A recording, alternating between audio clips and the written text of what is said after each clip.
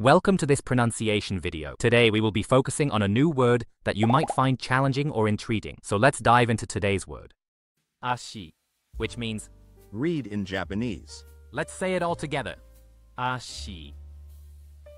Ashi. Ashi. One more time. Ashi. Ashi. Ashi.